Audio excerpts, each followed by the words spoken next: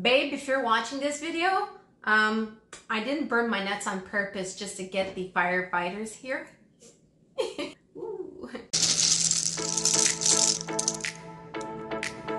yes, I did crack them one by one for this recipe. To save you some time, you can buy unsalted, unshelled pistachios. If you come across a pistachio that's not open, don't use it.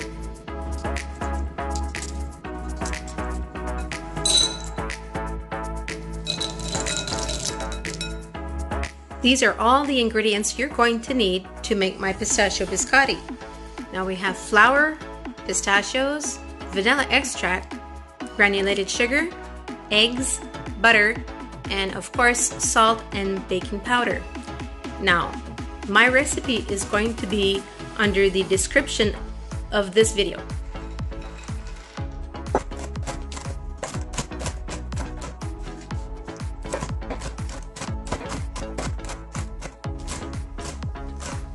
Okay, now I've set my stove under broil at the moment, so it's heating up right now.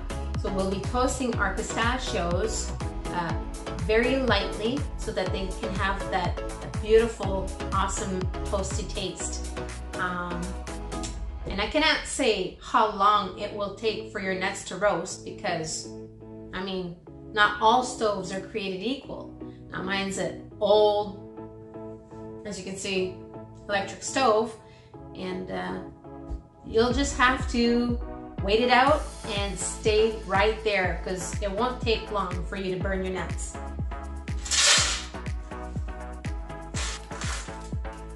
In they go.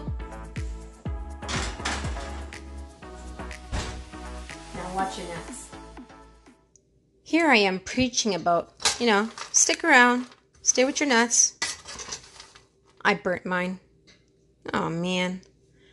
Oh, gotta start back again. Let's go crack some nuts.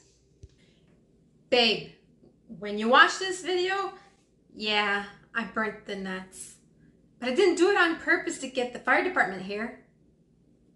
Maybe I should. Well, this is not what it's all cracked up to be. Now I gotta crack more nuts. Man.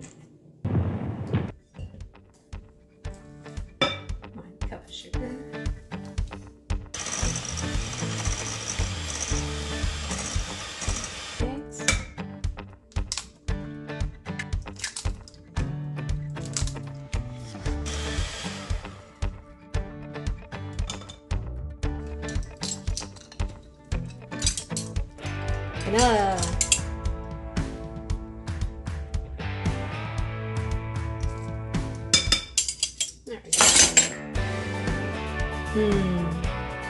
Could smell this.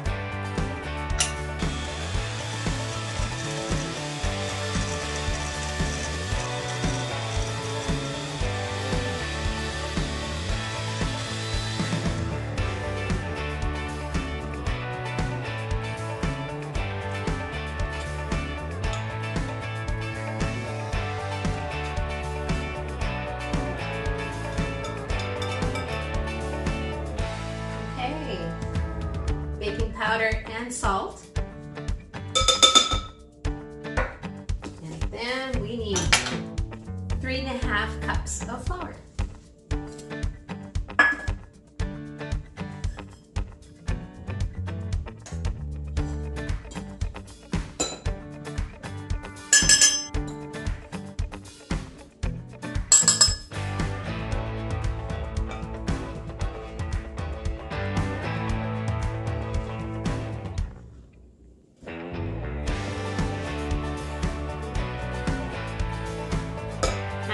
Nuts.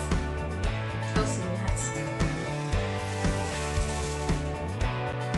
It smells good already. It's not even baked. Let's get our hands dirty, okay?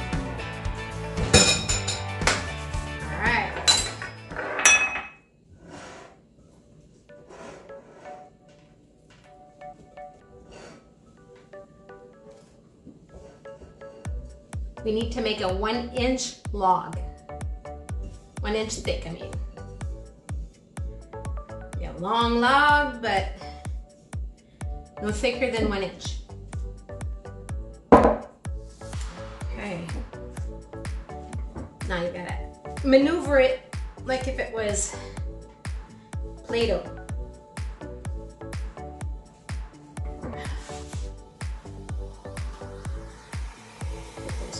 In there.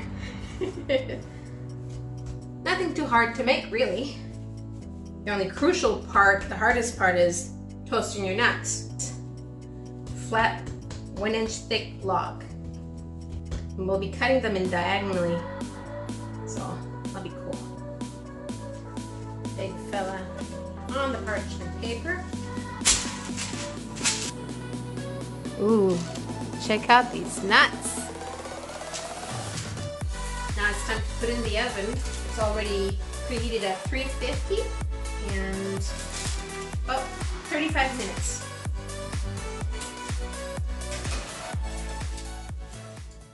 Okay, so while I wait for my biscotti to bake, well, I'll finish up my coffee and do a little light reading. I call these kitchen Bibles.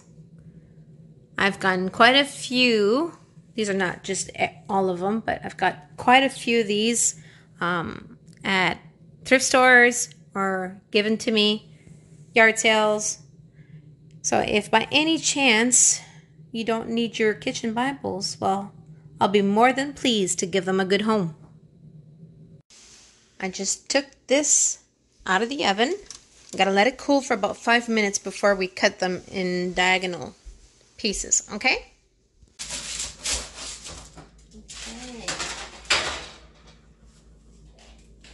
Now we're gonna cut diagonal pieces and put them back on the sheet and bake them for another five minutes on one side and then five minutes on the other side. Be careful, it's hot.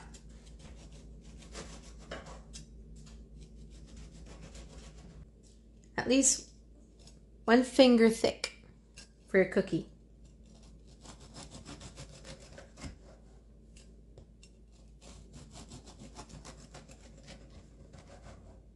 Helps to use a serrated knife for this because the cookie is still hot inside.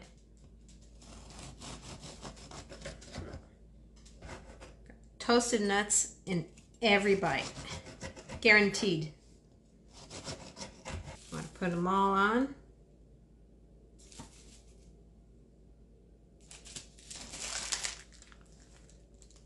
Back to the oven it goes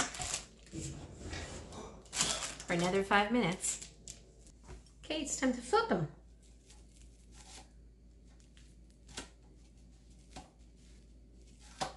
Back it goes for another five minutes.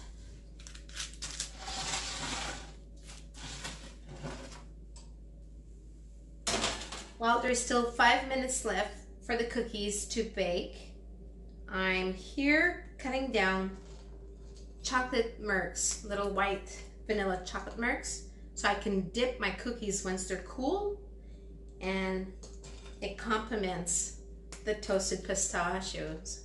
Totally yummy. Oh, wow. Let's go get the cookies. Ooh. Hello. Mmm. The smell, the smell, the smell. Oh. Bonjour, my petits. Nah, you gotta let them cool even though the smell just drives you nuts. Get it? Nuts?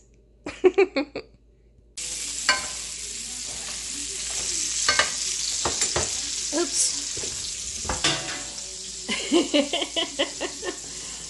okay, I can't wait to see these beautiful cookies dipped in white chocolate. Yay! Oh yeah, that'll be delicious.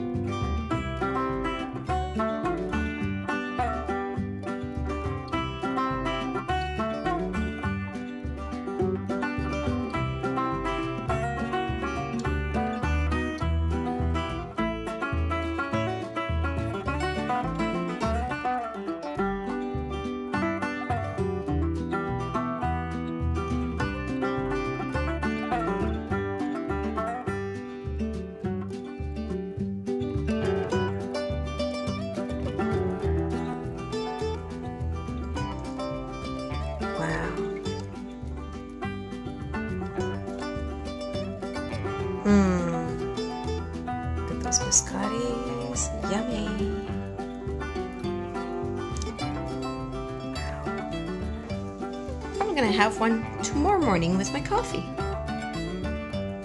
Bon appetit!